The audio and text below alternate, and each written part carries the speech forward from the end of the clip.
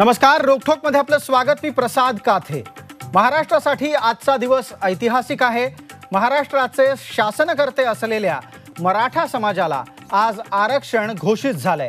आरक्षणाची ही लढाई आधी शांत संयमी होती. मात्र नंतर ती उग्र ठरली आणि निर्णायक क्षणाला हे आंदोलन पुन्हा वादग्रस्त ठरू पाहतंय. एकीकडे मराठा समाज आरक्षण मिळाल्याचं समाधान उराशी बाळगू नये तर दुसरीकडे ओबीसी समाजाला हा निर्णय आरक्षणावर त्यांच्या आरक्षणावर आक्रमण करणारा वाटतोय.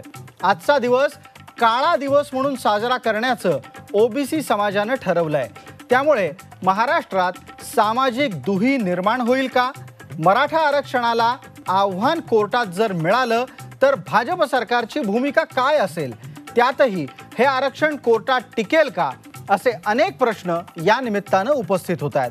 तेव्हा आजची रोखोक चर्चा यावरच मराठा आरक्षणाचं पुढं काय होणार?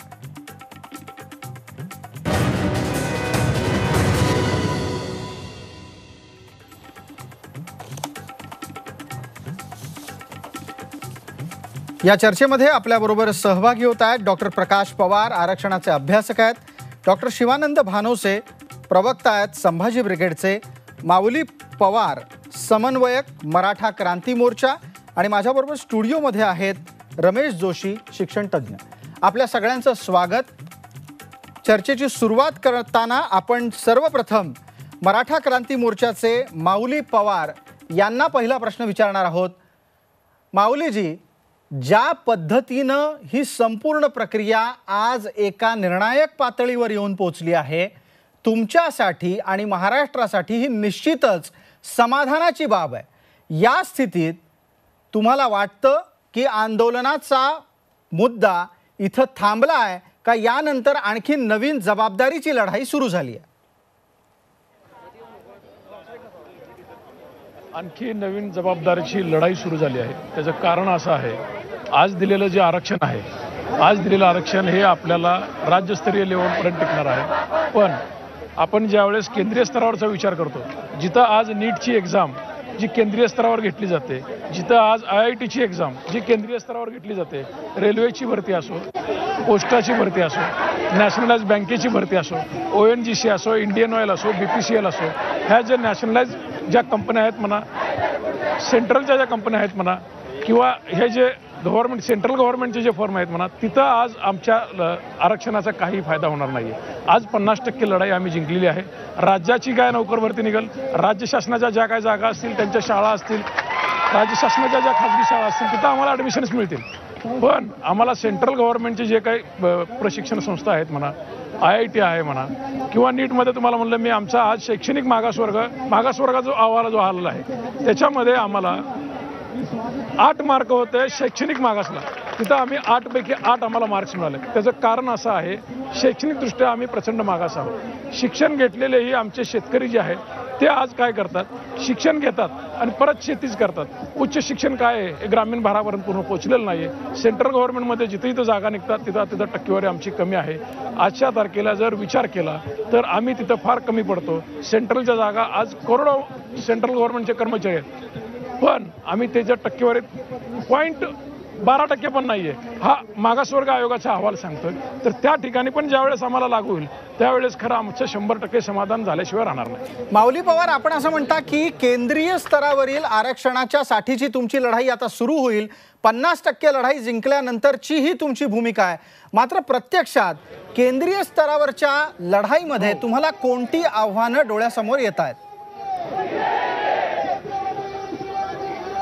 केंद्रीय स्तरावरच्या लढाईमध्ये आम्हाला विधिमंडळाचा एक ठराव जो संसदेला पाठवावा लागेल तिथून त्या आरक्षणाचा कोटा वाढवावा लागेल त्यावेळेस आम्हाला तिथे एंट्री मिळणार अगदी. आपल्याबरोबर आरक्षणाचे अभ्यासक आहेत डॉक्टर प्रकाश पवार. प्रकाश पवार तुम्ही माऊली पवार यांच्या तार्किक दाव्याला ऐकलत. तुम्हाला वैयक्तिकरित्या ही लढाई खऱ्या अर्थानं पन्नास टक्के जिंकलेली आहे. या भूमिकेला पचवणं शक्य वाटतं? आणि जर समजा केंद्रीय स्तरावरची लढाई आता सुरू करायची असेल तर ती शक्य आहे का? कारण महाराष्ट्रामध्ये मराठा समाज एका बाजूला आरक्षण मागत असताना इतर राज्यांमधला तिथला स्थानिक प्रशासकीय आणि राजकीय हस्तक्षेप मोठ्या प्रमाणात बाळगणारा वर्गसुद्धा आरक्षण मागतोय.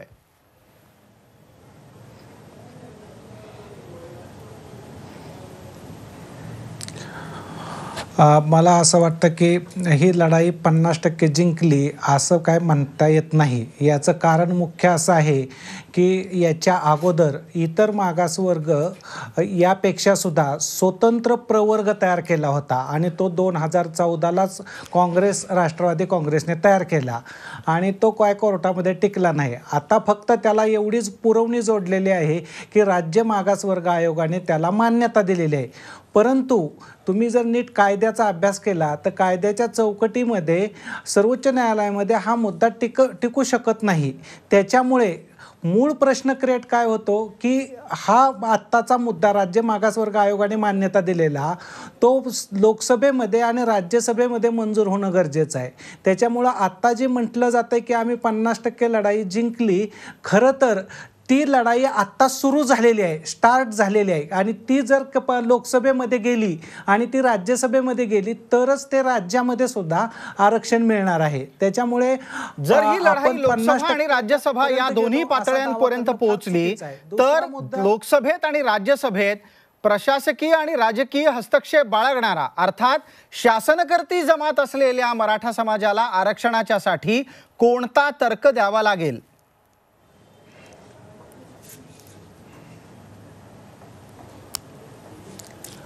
मराठा समाजाला मागासवर्ग आयोगाची शिफारस हा सर्वात मोठा मान्यतेचा तर्क आहे. याचं कारण असं आहे की मागासवर्ग आयोग हे ज्ञान निर्माण करणारी राज्यातली मुख्य यंत्रणा आहे. परंतु मूळ त्यांना राज्य सरकारला हा प्रश्न सोडवावा लागेल की दोन हजार चौदा साली राज्य मागासवर्ग आयोगाने मान्यता दिली नाही आणि आता राज्य मागासवर्ग आयोगाने मान्यता दिली. याच्यामध्ये नेमका फरक कोणता आहे?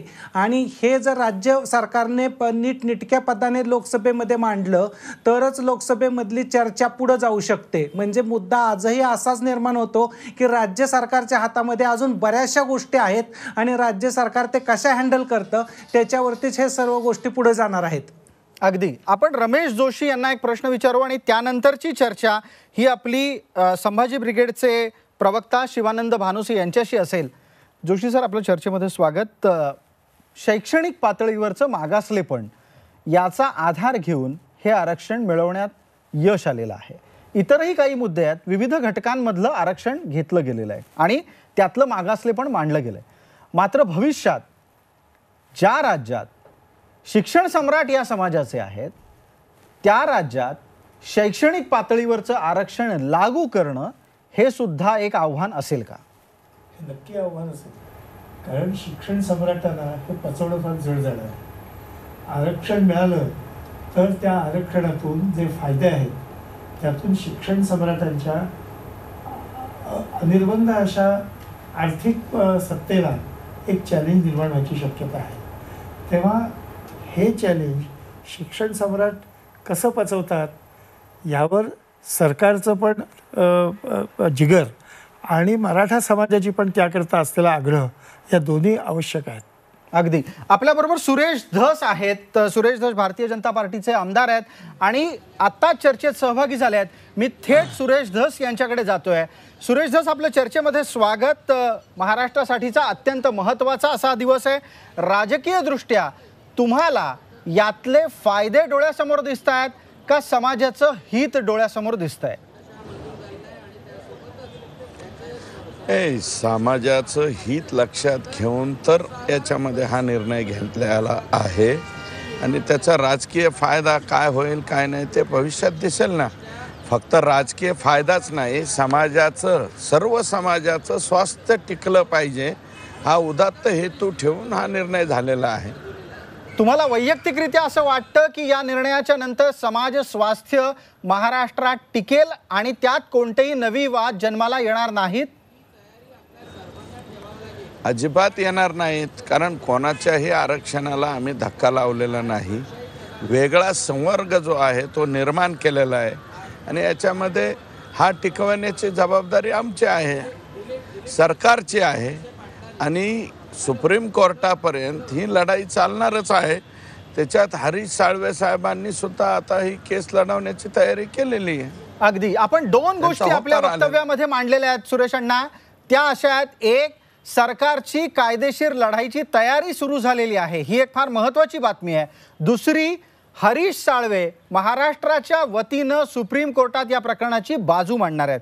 आपण यानंतर संभाजी ब्रिगेडचे प्रवक्ते डॉक्टर शिवानंद भानुसी यांना प्रश्न विचारणार आहोत. शिवानंदजी सुरेश धस यांचं वक्तव्य आपण ऐकलं. ते असं म्हणतात समाज स्वास्थ्य टिकवणं ही सरकारची जबाबदारी आणि त्याच्यासाठी ते कटिबद्ध आहेत. पण वस्तुस्थिती काय वाटते तुम्हाला? आणि हे आरक्षण म्हणजे ओबीसी आरक्षणाला धक्का नाही ही हा सरकारचा दावा पचनीय आहे का पचतो का?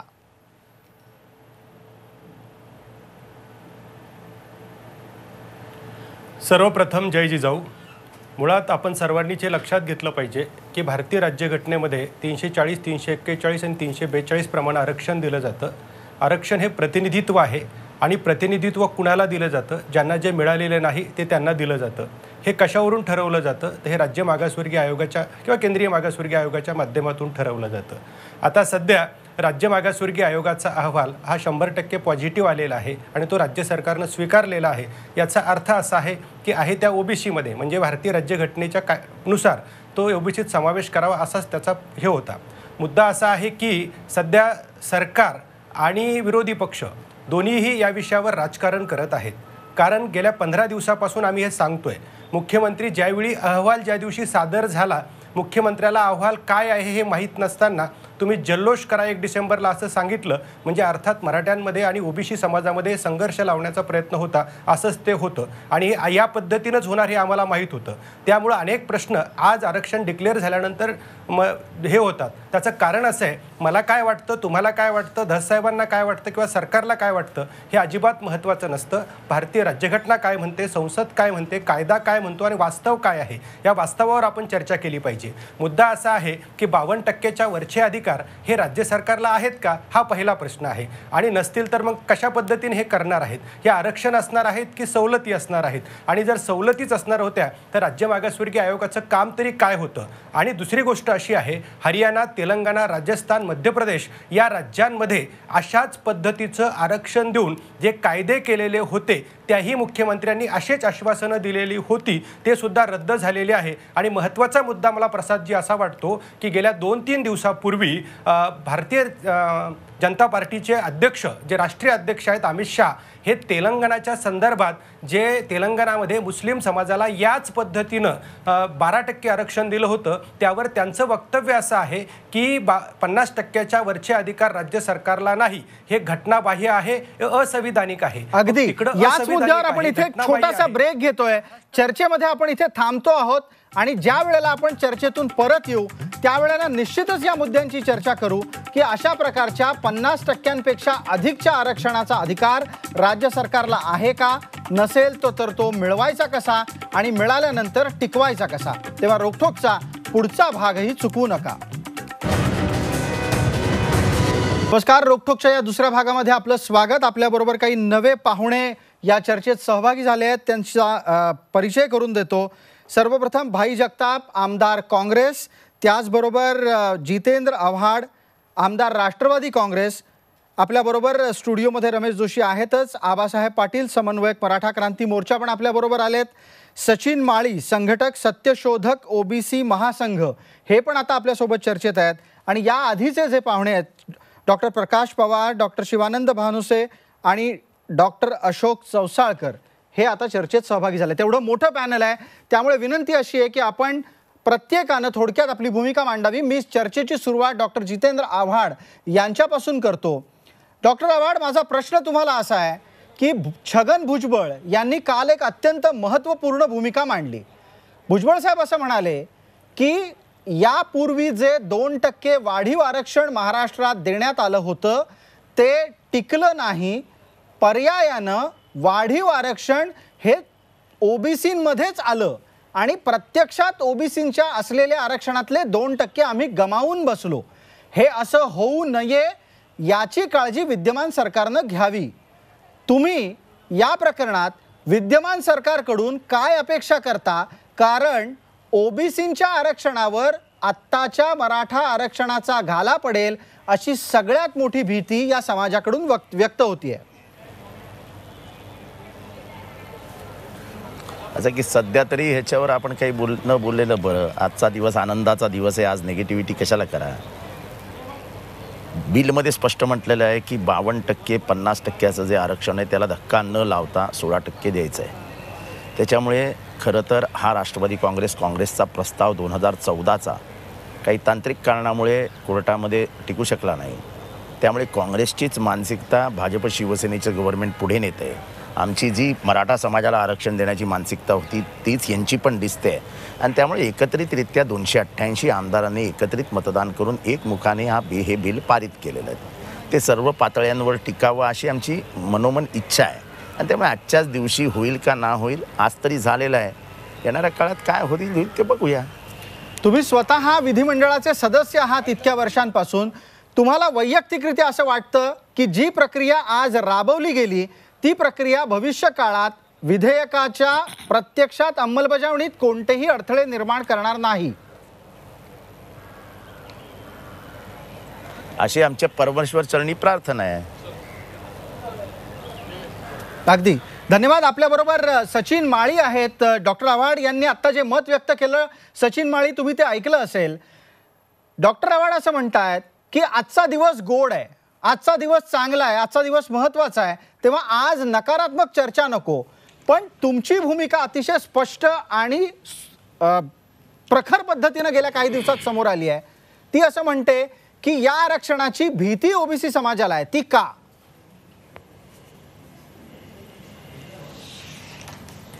नाही आता ही गेल्या पंधरा तारखेपासून आम्ही सत्यशोधक ओबीसी फेडरेशनच्या वतीनं आमची बाजू मांडत आहोत. आजचा जो दिवस आहे त्यामध्ये एक दिसतंय की आरक्षण जाहीर झालेलं आहे त्यासाठी विधेयक आणलेलं आहे. त्यासाठी आम्ही आनंदाचा दिवस म्हणून स्वागत तर केलेलं आहे. परंतु आता ह्यामध्ये अनेक गोष्टी ज्या शिल्लक राहिलेल्या आहेत चर्चेच्या की मराठा समाजाला एस बी सी म्हणलेलं आहे ए सी बी सी म्हणलेलं आहे. आणि हा एस सी बी सी आणि ओ बी सी असा वाद पंधरा तारखेपासून सुरू होता.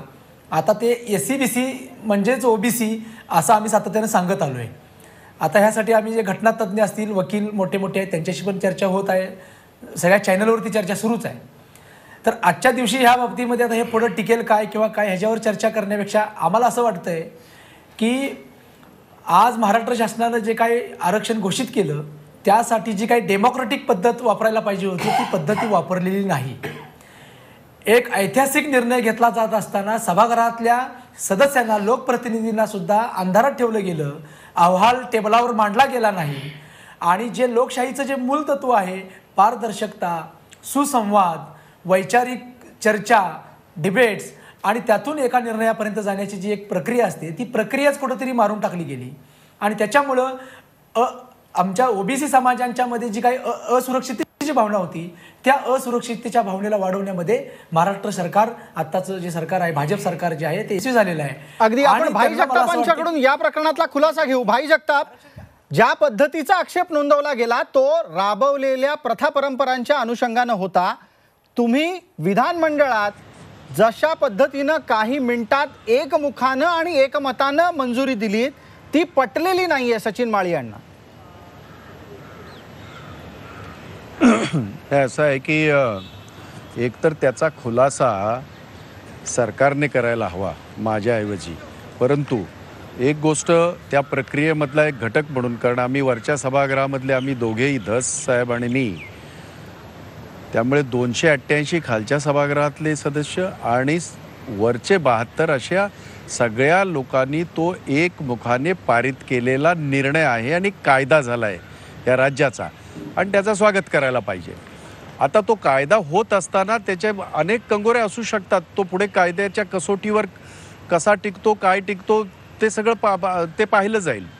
परंतु जितेंद्र आव्हाड जे म्हणाले त्या गोष्टीकडे परत एकदा मी लक्ष आपल्याला आकर्षित करतो. ते असं दोन हजार चौदा साली जे अध्यादेश काढून सोळा टक्के जे आरक्षण दिलं गेलं होतं जर तुम्ही कोर्टाचा निर्णय व्यवस्थित बघितला असेल जो तुम्ही पाहिला असेल तर त्याच्यामध्ये कोर्टाने असं सांगितलं होतं की टेक्निकल मुद्द्यावर ते राणे कमिटीचं हे नाकारलं होतं स्टे केलं होतं.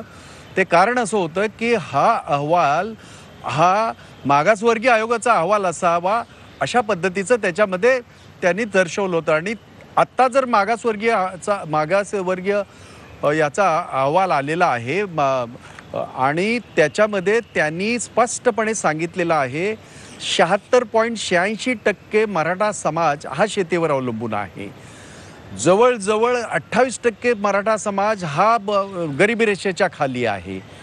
आज जर आपण एकंदरीत सगळी जर परिस्थिती पाहिली जर घटनेच्या पंधरा चार कलम पंधरा चार कलम सोळा चार प्रमाणे जर आपण पाहिलं तर एखाद्या समाजाला आरक्षण मिळण्यासाठी त्यांचं मागास आहेत हे आपल्याला साबित करावं लागतं. ते याच्यातनं सगळ्यातनं साबित होतं जे आम्ही पूर्वीही केलं होतं. आणि त्यामुळे मला असं वाटतं की याच्यामध्ये आपण सगळ्यांनी आजचा दिवस खरोखरच मोठा आहे. आपण सगळ्यांनी प्रार्थना करूया की ह्या सगळ्या गोष्टी पुढे टिकतील आणि त्या समाजाला न्याय मिळेल. कारण अगदी. ज्याची सुरुवात थोड्या वेळापूर्वी डॉक्टर आव्हाड. यांनी पण एक भूमिका मांडली. की जे काही काँग्रेस एनसीपीनं यापूर्वी केलं होतं त्याची री भारतीय जनता पक्षाच्या सरकारनं ओढलेली आहे. सुरेश धस आपल्या बरोबर आहेत. सुरेश धस भारतीय जनता पक्षाला स्वतःचा असा काही विचार या आरक्षणामागे आहे का काँग्रेस एनसीपीने जी रचना नेमली होती ती रचनाच पुढे घेऊन जाण्याशिवाय त्यांच्यासमोर मार्ग नव्हता? हे बघा काँग्रेस राष्ट्रवादी सरकारने त्यावेळेस विधान मला वाटतं लोकसभेच्या नंतर विधानसभेच्या त्या पिरियडमध्ये राणे समितीचा नेमली होती. आणि राणे समिती नेमून ऑर्डिनन्स काढून आरक्षण दिलं होतं. परंतु कोर्टामध्ये त्याच्यामध्ये म्हणलं गेलं की व याला राज्य मागासवर्ग आयोगाच्या ह्याला शिफारस नाही आहे त्याच्यामुळं याला स्टे देण्यात येत आहे. नाही पण मग तो प्रयत्न प्रामाणिक होता असं तुम्हाला वाटतं का सुरेश धस? अप्रामाणिक होता असं आम्ही कुठं म्हणलो? आता आजच्या घडीला कोणाचाही प्रयत्न अप्रामाणिक नाही. स एवढं सुंदर झालेलं आहे सगळं गोड झालेलं आहे. आज कशामुळं मिठाचे खडे टाकताय तुम्ही? एक मताने दोन्ही सभागृहात. आम्ही आतापर्यंत झालं ते झालं परंतु आज एकमतानं Bharatiya Janata Party Shivsena Congress Rashtrawadi Congress अजून जे कोणते छोटे मोठे पक्ष असतील सर्वांनी एकमतानं आणि हिस्ट्री आहे मी पण या सभागृहामध्ये आज नाही. साहेबांनी मी एकत्र काम केलं. वीस वर्ष झालं आम्ही इथं आहोत. एका मतानं असा कुठलाही प्रस्ताव एकदम मान्य झालेला नाही. आज झालेला आहे. लोक आनंदी आहेत. आज मला वाटतं डिबेटमध्ये विनाकारण काही हे करू नये अशा प्रकारची माझी विनंती. नाही, सुरेश मी मला- निश्चितच- मला मला एकच गोष्ट ऍड करायची आहे त्याच्यामध्ये. एक मिनिट एक मिनिट एक मिनिट. मला फक्त फक्त धस साहेबांना म्हणजे त्यांना माहिती आहे कारण ते तेव्हा इकडे आमच्या सरकारातच होते. राणे समितीची न- निर्मिती त्या लोकसभा आणि विधानसभेच्या मध्ये सहा महिन्यात झाली नाही. तर राणे समितीची नियुक्ती दोन हजार बारामध्ये झाली आणि जवळजवळ अठरा लाख यांचा म- मराठा समाजातल्या घटकांचा त्यांनी सॅम्पल सर्वे घेतला आणि तो फार मोठा होता आणि आजपर्यंत सगळ्यात मोठा सर्वे होता. या समाजाची आर्थिक स्थिती शैक्षणिक स्थिती बाकी सगळी स्थिती जाणण्याकरता. आणि म्हणून त्याचा अहवाल मात्र शेवटच्या सहा महिन्यात आला हे बरोबर आहे. म्हणून आम्हाला तो ऑर्डनन्सने काढावा लागला. आम्हाला तेवढा वेळ मिळाला नाही कायदा करण्याचा. एवढंच. फक्त दुरुस्ती. आपण डॉक्टर चौसाळकर यांच्याकडे जाऊ. राजकीय अभ्यासक या नात्याने आणि त्याचबरोबर समाजातल्या विविध घटनांवर त्यांचं बारीक लक्ष असतं. डॉक्टर चौसाळकर ज्या पद्धतीनं आता विधेयक मंजूर झालंय ते यानंतरच्या पुढच्या प्रक्रियांसाठी कायदेशीर रित्या रवाना केलं जाईल. या विधेयकानं समाजात काय बदल अपेक्षित आहेत?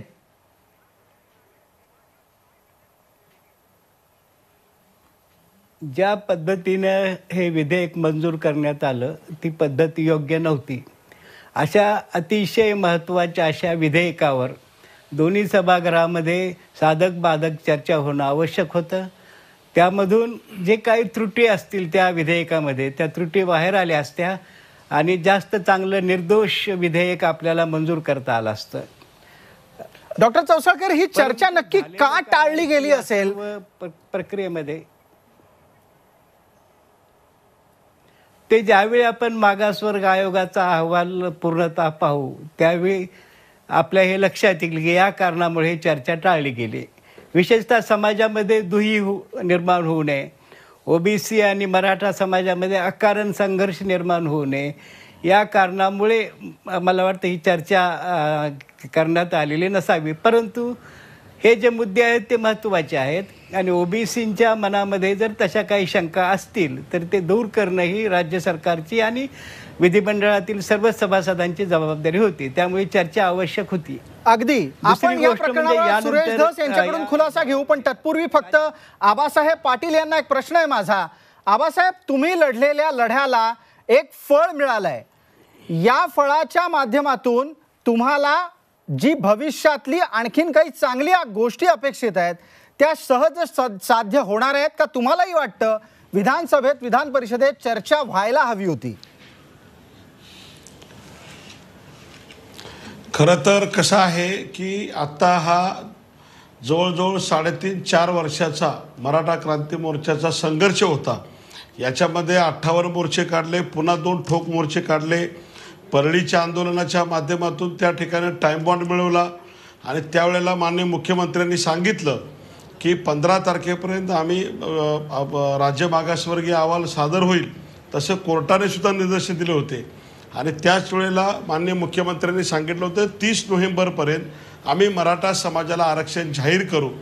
या सगळ्या प्रक्रियेमध्ये बघितलं असता की आता सभागृहामध्ये गेल्या आठ दिवसामध्ये जो अहवालावरनं वादविवाद चालू होता यामध्ये सर्वप्रथम मी सर्व विरोधी पक्ष असेल सत्ताधारी असतील दोन्ही सभागृहातल्या सर्व सन्माननीय आमदार साहेबांचे आभार मानतो की आपण कोणताही विषय बा हे न करता की या मराठा आरक्षणासाठी एकमत जसं आत्ता दाखवलेलं आहे कायदा करण्यासाठी विधेयक आणण्यासाठी त्याच पद्धतीनं फक्त सत्ताधाऱ्याची जबाबदारी नसून या विरोधकांची पण जबाबदारी तेवढीच आहे की आज तुम्ही फक्त आभार मानून मोकळे होऊ नका. पुढची लढाई हे तुमची आहे सभागृहातली आहे. आम्ही रस्त्यावरची लढाई लढलेली आहे. अगदी. आपण ब्रेक घेणार आहोत मात्र ब्रेक पूर्वी जाता सुरेश धस यांच्यासाठी प्रश्न आहे. सुरेश धस मगाशी आपण बोलताना म्हणालात की मिठाचे खडे आजच्या आनंदाच्या दिवशी टाकू नका. मी आपल्याला विनम्रपूर्वक सांगतो जी मतं समाजातून येतात ती आपल्यासमोर आहेत. डॉक्टर चौसाळकरांनी सांगितलं चर्चा व्हायला हवी होती आणि त्या चर्चेला टाळणं गैर आहे. तुम्ही कृपया या प्रकरणात खुलासा करू इच्छिता का? की आपण. चर्चा का केली नाही? हो. हे पहा चर्चा केली नाही असं नाही. ए टी आर ठेवला. ए टी आर ठेवल्याच्या नंतर बिल सादर केलं. आणि जे कोणी शंका कुशंका काढतायत या सभागृहामध्ये ओबीसीचे प्रतिनिधी काही कमी नाही आहेत मोठ्या प्रमाणावरती आहेत. भारतीय जनता पार्टीमध्ये तर जास्त आहेत ओबीसीचे प्रतिनिधी. आणि काँग्रेसमध्ये आहेत राष्ट्रवादीमध्ये आहेत. परंतु सर्वांनी बिल पाहिल्याच्या नंतर बिल वाचलंय ए टी आर वाचलाय बिल वाचलंय बिल वाचल्याच्या नंतर सुद्धा दो खालच्या सभागृहामध्ये सुद्धा मी लॉबीतून पाहत होतो. त्यांनी स्वतः वेळ मागितला विरोधी पक्षनेत्यांनी तर जवळपास एक ते दीड तासाचा वेळ देण्यात आला आणि दीड तासाच्या नंतर म्हणले बोला ह्याच्यावरती. आणि त्याच्यानंतर विरोधी पक्षाने येऊन सांगितलेलं आहे की आपण सर्व एकमताने हे मंजूर करून टाकू. अगदी. आणि सुरेश आपल्याला इथे थांबावं लागतंय. भाई जगतापांना या विषयावर बोलायचं आहे पण मी भाईंना विनंती करतो. की आपण कृपया थोडीशी वाट पाहावी. कमर्शियल ब्रेक घेऊन आपण. इकडे परत येऊ चर्चेमध्ये. आणि या पुढच्या टप्प्यात आपण निश्चित या मुद्द्यावर अधिकाधिक बोलायला हवं की आरक्षण तर मिळालंय पण ते राबवायचं कसं? तेव्हा रोखोकचा पुढचा भाग चुकू नका.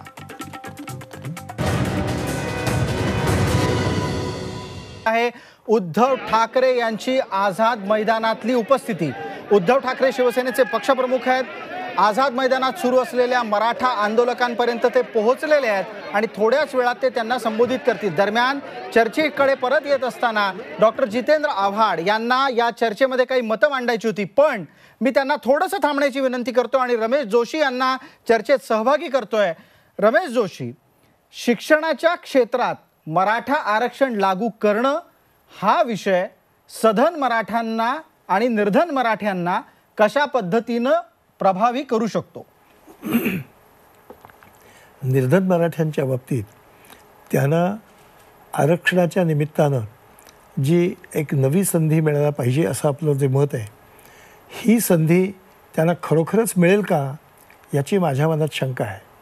कारण परत ही संधी जे सधन मराठे आहेत ज्यांच्या शिक्षण संस्था आहेत ज्यांच्याकडे मोठ्या फिया घेऊन मुलांना व व तथाकथित उच्च प्रतीचं शिक्षण दिलं जातं हीच मंडळी परत ते ग्रॅप करतील अशी मला परत भीती वाटते. अगदी. डॉक्टर शिवानंद भानोसे याच प्रकरणावर तुमचं मतही लागेल कारण सधन मराठ्यांच्याकडून निर्धन मराठ्यांकडे सेवा सोयी सुविधांचा प्रवास झाला पाहिजे.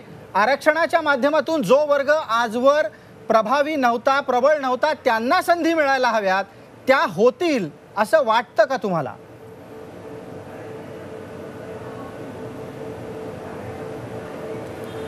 मुळात प्रसादजी आपण हे लक्षात घेतलं पाहिजे की ओबीसीमध्ये ऑलरेडी क्रिमिलेअर आणि नॉन क्रिमिलेअर आहेच आहे. त्यामुळे जे क्रिमिलेअर आहेत त्यांच्यासाठी वेगळ्या सवलती आणि नॉन क्रिमिलियर तो विषय महत्त्वाचा नाही आहे मला महत्त्वाचा विषय हा वाटतो की जे सोळा टक्के आरक्षण दिलेलं आहे ते आत्ता तरी राज्य सरकारच्या अखत्यारीतला तो विषय नाही कारण ते बावन्न टक्क्याच्या पुढचं आहे. तोच विषय मी मगाशी सांगत होतो की भारतीय जनता पक्षाचे राष्ट्रीय अध्यक्ष अमित शहा दोन तीन दिवसापूर्वी हे तेलंगणाच्या आरक्षणाच्या संदर्भात जे बारा टक्के याच पद्धतीनं मुस्लिमांना दिलं होतं त्या ठिकाणी म्हणतात की हे घटनाबाह्य आहे. आणि इकडे कसं ते घटनादत्त असू शकतं? म्हणजे महाराष्ट्रासाठी आणि तेलंगणासाठी वेगळे कायदे आहेत का? म्हणजे हे मुख्यमंत्र्यांनी सांगावं की आम्ही कसं दिलं? किंवा अमित शहानी तरी यांना सांगावं की हे देता येतं की नाही देता येत? असे अनेक प्रश्न उपस्थित होतात. मी अगोदर सांगितलं होतं हरियाणा तेलंगणा आणि राजस्थान मध्य प्रदेशमध्ये असेच मुख्यमंत्र्यांनी असेच कायदे केले होते आरक्षण देऊन. ते रद्द झालेले आहेत ते टिकलेले नाहीत. याची उत्तर यांच्याकडे आहेत का? अमित शहा खरं बोलतायत का? मुख्यमंत्री खरं बोलतायत? मुद्दा असा आहे की आपण मराठा समाजाची ओबीसी समाजाची सगळ्यांचीच फसवणूक करतो आहोत का? हे सगळ्यांना आपल्याला माहीत आहे. मी मगाशी तेही सांगितलं की पाच टक्के मुस्लिमांना आरक्षण दिलं गेलं होतं. न्यायालयानं ते सांगितल्यानंतर सुद्धा अजून ते अंमलबजावणी त्याची झालेली नाही असे अनेक प्रश्न उपस्थित होतात. म्हणून माझा प्रश्न धस साहेबांना आहे की अमित शहा खरं बोलतात का मुख्यमंत्री खरं बोलतात? आपण जे साहेबांकडून या 52% च्या या संदर्भातला खुलासा घेऊ मात्र तत्पूर्वी डॉक्टर आव्हाड? यांना चर्चेत काही मतं मांडायची होती. डॉक्टर आव्हाड आपण बोला आणि मग आपण या संपूर्ण प्रक्रियेमागची सत्यासत्यता आणि घटनेतली सिद्धता कितपत आहे याच्या संदर्भात सुरेश धस यांच्याकडे जाणार आहोत. मगाशी सुरेश दस असं म्हणाले की विरोधी पक्षांनी प्रस्ताव मांडला की एकमताने करू वगैरे असं नाही की हे हे जे हे जे म्हणजे उन्हधुणं काढण्याचा जो प्रकार आहे वास्तविक पाहता आजही महाराष्ट्राच्या मनात अहवाल का ठेवला नाही याची उत्सुकता आणि कुतूहल आहे. चौसाळकर जे म्हणाले ते स्पष्ट आहे की लोकशाही संकेताप्रमाणे इतका मोठा विषय हाताळत असताना त्याच्या त्या विषयाची कुठलीही चर्चा होऊ न देण्याचे कारण काय ह्याच्यामध्ये साशंकता निर्माण होते. ते जर स्पष्टपणाने तो अहवाल ठेवला असता की चला चर्चा करूया त्याच्यातनं दोनशे अठ्ठ्याऐंशी जेव्हा आमदार एका मताचे आहेत, एका मनाचे आहेत, एका निर्णयाप्रती आलेले आहेत की आपल्याला मराठा समाजाला आरक्षण द्यायचंच आहे तर तो अहवाल रपवण्याचा आणि दडवून ठेवण्याचं काही कारणच नव्हतं. त्याच्यामुळे अहवाल न ठेवता आपण जेव्हा ए टी आर आणता तेव्हा अहवालात काहीतरी दडलेलं आहे जे तुम्हाला महाराष्ट्राला सांगायचं नाही असा एक प्रश्न निर्माण होतो. आता तो विषय संपलेला आहे. त्यामुळे जो चर्चेचा विषय होता त्यामध्ये पहिल्यांदा सामंजस्य दाखवलं गेलं. माझा प्रश्न एवढाच होता कायम आणि तो? आजही मी विचारतो लोकांना की आज आणण्याच्या ऐवजी ते पहिल्याच दिवशी किंवा दुसऱ्या दिवशी किंवा तिसऱ्या दिवशी आणलं असतं तर ही जी द्वेषभावना पसरली दूर दूर समाजामध्ये आमदारांमध्ये एक दुसऱ्यावरती आरोप प्रत्यारोप हे थांबवता आलं असतं.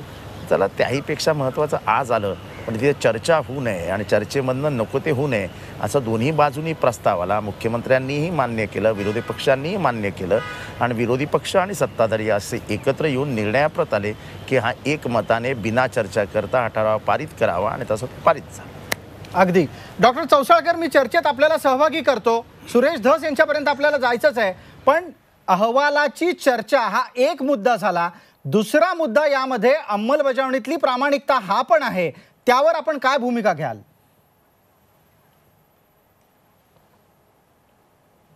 अंमलबजावणीच्या संदर्भामध्ये सरकार पुढची पावलं यानंतर उचलेल. मुख्य मुद्दा असा आहे की एकदा हा कायदा झाल्यानंतर त्या कायद्याला उच्च न्यायालयामध्ये आणि नंतर सर्वोच्च न्यायालयामध्ये आव्हान दिलं जाईल. आणि या का कायद्याला विरोध करणारे जे लोक आहेत ते असं म्हणतील की हा जो कायदा केला तो स्टे केला जावा. हा कायदा जर सर्व उच्च न्यायालयाने स्टे केला नाही तर मग पुढची जी अंमलबजावणी आहे त्या अंमलबजावणीबद्दल मग सरकार पुढे वाटचाल करू शकेल. पण इथे जर स्टे मिळाला तर पुढचे अनेक नवे प्रश्न निर्माण होतील. त्यामुळे मी अशी अपेक्षा करतो की हे जो हा जो कायदा करण्यात आला आहे तो चांगल्या प्रकारे फुलप्रूफ असा कायदा करण्यात आलेला आहे आणि त्यामुळे त्याला विरोधकांना स्टे मिळणार नाही. अगदी. त्याच संदर्भातली भूमिका थोड्याच वेळापूर्वी आपल्यासमोर मांडण्यात आली होती. आणि आता धस सुरेश धस यांना प्रश्न आहेत आणि त्यांनी त्यांच्याकडून स्पष्ट खुलासे करावेत. आपण चर्चेच्या संदर्भातला मुद्दा घेऊन झाला. आता मुद्दा आहे तो अंमलबजावणीचा आणि दुसरा मुद्दा आहे तो अशा स्वरूपाच्या आरक्षणाचा घटनादत्त अधिकार राज्य सरकारकडे आहे का याचा तुम्ही दोन्ही बाबतीत बोलावं. हे पहा हा कायदा बनवताना अतिशय विचारपूर्वक केलेला आहे. घटना तज्ज्ञांचा सल्ला घेतलेला आहे. आणि याच्यामध्ये पाठीमागं ज्यावेळेस मागच्या आरक्षणाला स्टे मिळालेला आहे त्याच्यामध्ये सहा मत्या सहा महिन्यामध्ये ज्यांच्या नोकऱ्या अपॉइंटमेंट झाल्या त्यालासुद्धा प्रोटेक्ट केलेलं आहे. आणि राज्य सूचीमध्ये केंद्र सूची राज्य सूची समवर्ती सूची. राज्य सूचीमध्ये हे जे बावन्न टक्क्याच्या वर पन्नास टक्क्याच्या वरती बोलत आहेत इंदिरा स्वामी केसचा दाखला देत आहेत अहो त्याच केसमध्ये म्हणलेलं आहे की पन्नास टक्के क्रॉस होत असताना आणि जे आत्ता कोणीतरी बोललं की हरियाणाचा स्टे झाला अमका झाला जाट समाजाचा विषय होता हरियाणामध्ये ते स्टे करताना काय म्हणले? सुप्रीम कोर्टाने हे पाहिलंय का? आरक्षण द्यायचे तर ती जात खरोखर मागास आहे का हे सिद्ध करावं. प्रशासनास प्रतिनिधित्व प- पाहावं. आरक्षणाच्या प्रशासन ह्या सगळ्या गोष्टी आहेत. आणि इंदिरा स्वामी केसमध्ये आणि मुळात राज्य सूचीमध्ये पन्नास टक्क्याच्या वरती सुद्धा अपवादात्मक परिस्थिती आणि असाधारण परिस्थितीमध्ये वरती जाण्याचा अधिकार राज्य सूचीपुरता आम्ही केंद्र सूचीबद्दल म्हणत नाही. केंद्राच्या सूचीमध्ये आम्ही येऊ का नाही का तो नंतरचा प्रश्न आहे. आणि त्याच्या ब- संदर्भात पुढं भा भांडत बसू ना. परंतु आज राज्य सूचीमध्ये आम्ही आलेलो आहो आम्हाला वेगळा संवर्ग मिळालेला आहे आणि सोळा टक्के आरक्षण मिळालेलं आहे.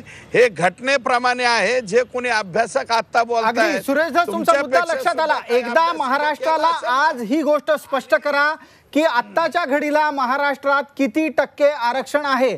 अडुसष्ट आहे का सहासष्ट आहे? हे पहा. एक आता तामिळनाडूमध्ये एकोणसत्तर आहे कर्नाटकमध्ये अडुसष्ट आहे आणि राज्यामध्ये अडुसष्ट टक्के आरक्षण या घडीला आत्तापासून अडुसष्ट टक्के झालेलं आहे. कारण तामिळनाडूचं टिकलेलं आहे कर्नाटकाचं टिकलेलं आहे आणि आपलं का टिकणार नाही? तुम्ही आत्ताच उद्याच्यालाच लगे आज झालेला आहे. त्याच्यात निगेटिव्हनेस का मिळणार? असं म्हणा आता केंद्राकडून सुद्धा मिळवू राज्यसभेमध्ये आणि हा एकट्यापुरता मराठा समाजापुरता प्रश्न नाहीये. नाही आहे. गुर्जर. आपण सचिन माळी यांच्याकडे जाऊ. सचिन माळी आपण चर्चेत सहभागी व्हा. सचिन माळी या एकूणच चर्चेचा नूर असा आहे की आज सगळं चांगलं झालंय आज नकारात्मक आणू नका. पण मी तुम्हाला प्रश्न असा विचारतो सचिन माळी जर समजा विषय चांगल्यानं सुरू झालाय तर तो चांगल्यावर संपला पाहिजे. जिसकी शुरुआत अच्छी उसका अंत भी अच्छा होना चाहिए असं हिंदीत म्हणतात. तुम्हाला मी प्रश्न विचारतोय सचिन माळी या सगळ्या चर्चेत तुम्हाला वैयक्तिकरित्या असं वाटतंय की झाल्या प्रकारात भविष्यात कोणत्याही अडचणी येणार नाहीत आणि समाजात सुद्धा मन दुभांगणार नाहीत? नाही पहिली एक गोष्ट ह्या विषयावर बोलण्याच्या आधी आता मगाशी तुम्ही जी ब्रेकिंग न्यूज सांगितली त्याबद्दल मी बोलण्याची परवानगी मागतो. की ज्या पद्धतीनं आझाद मैदानामध्ये दुपारी अजित पवार गेले आता उद्धव ठाकरेजी गेले. आणि अगदी अगदी सचिन सांगतो उद्धव ठाकरे बोलतायत भाषण करतायत. सगळ्यांना विनंती आहे की कृपया आपण ते काय बोलतायत ते एकदा आरक्षण ऐकूया. म्हणा किंवा हा तुमचा न्याय हक्क आहे हा असं तुम्हाला मिळालेला नाही. तुम्ही तो लढा देऊन शक्ती दाखवून तो मिळवलेला आहात म्हणून मी तुम्हाला तुमचं अभिनंदन करतोय. आणि हे झाल्यानंतर आज महाराष्ट्रामध्ये आनंद सगळीकडे साजरा होत असताना सुद्धा तुम्ही एका जाणीवेने उपोषण चालू ठेवलं होतं. ही जाणीव फार महत्त्वाची आहे. या आंदोलनासाठी ज्यांनी बलिदान दिलं जे शहीद झाले त्यांची एक जाणीव ठेवून तुम्ही हे आंदोलन चालू ठेवलं होतं. त्याचप्रमाणे ज्यांनी आंदोलन केलं त्या आंदोलनकर्त्यांवरती मी तर म्हणेन मागे आपण भेटलो होतो. बऱ्याच ठिकाणी खोट्या केसेस टाकले गेलेले आहेत. त्याही वेळेला मी मुख्यमंत्र्यांशी बोललो होतो मुख्यमंत्र्यांनी मला स्वतः सांगितलेलं आहे की असं यापुढे होणार नाही याच्यापुढे धरपकड होणार नाही आणि ज्यांचा याच्याशी काही संबंध नाही आणि त्यांना जर का अटका झालेल्या असतील तर त्यांची सुटकाही त्वरित केली जाईल. काही ठिकाणी जर का असं राहिलं असेल तर उद्या रामदासबाई तुम्ही आणि सगळे मंत्री आपले आहेत तुम्ही या सगळ्यांना जाऊन भेटतात आणि मी स्वतः तुम्हाला खात्री देतो की तुमच्यावरती मी अन्याय होऊ देणार नाही. तुम्ही एक मोठा टप्पा गाठलेला आहात. केवळ तुमच्या पुरतंच नाही तुम्ही त्रास भोगलेला आहात. मी इथे माता भगिनी जमलेल्या आहेत त्यांना सुद्धा मी खास तुम्हाला धन्यवाद देतो. कारण तुम्ही तुमच्या कुटुंबातला कोणी ना कोणीतरी गमावलेलं आहे. तुमच्या मागे शिवसेना ठाम उभी राहील परंतु तुम्ही तुमच्या पुढच्या पिढीला एक दिशा दिलेली आहे. म्हणून तुम्हाला पुन्हा एकदा धन्यवाद देतो. सर हे आरक्षण टिकेल. सर्व आणि एकमताने हे मंजूर केलेलं आहे आणि आरक्षण हे टिकेल नक्की टिकेल. आणि ती टिक टिकवण्याची जबाबदारी ही मुख्यमंत्र्यांनी घेतलेली आहे. आम्ही सगळे मराठा समाजाच्या सोबत आहोत. हा न्याय हक्क जो आज तुम्हाला दिला गेलेला आहे तो पूर्णपणे त्याची अंमलबजावणी सुद्धा लवकरात लवकर व्हावी याची सुद्धा एक जबाबदारी शिवसेना घेईल आणि सरकारकडनं ते करू धनगर आपण पाहिलं की उद्धव ठाकरे आझाद मैदानात पोहोचून काय सांगत होते? त्यांनी असा विश्वास व्यक्त केला की मराठा समाजाला मिळालेलं आरक्षण टिकेल. प्रत्यक्षात शिवसेनेच्या भूमिकेत झालेला हा तीनशे साठ डिग्रींचा बदल आहे. बाळासाहेब म्हणायचे जातीच्या आधारात आरक्षण नको. मात्र उद्धव ठाकरेंची भूमिका आता बदललेली दिसते आपण सर्वजण या चर्चेत सहभागी झालात त्याबद्दल मी आपले आभार मानतो. वेळेअभावी आपल्याला सगळ्यांनाच या चर्चेत पुरेसं कदाचित बोलता आलं नसेल पण तरीही आपण वेळात वेळ काढून या चर्चेत आलात त्याबद्दल मी आपला आभारी आहे. जाता जाता आरक्षणासाठीची सबल वर्गाची लढाई महाराष्ट्रात किमान संपली असं आज तरी म्हणता येईल. मात्र या लढ्यानं इतर अनेक समाज आणि त्यांच्या आशा अपेक्षा आरक्षणाच्या बाबतीत उंचावलेल्या आहेत. तर ज्यांना राज्यघटनेत आरक्षण मिळालेलं आहे त्यांच्या मनात मात्र नुकतीच आणि नसतीच धाकधूक सुरू झाली आहे. ही स्थिती फार काळ महाराष्ट्राला परवडणारी नाही आहे त्यावरचा तोडगा सामोपचारानंच निघावा अशी अपेक्षा. आज रोकठोकमध्ये इतकंच. ताज्या बातम्यांसाठी पहा झी चोवीस तास. रहा एक पाऊल पुढे.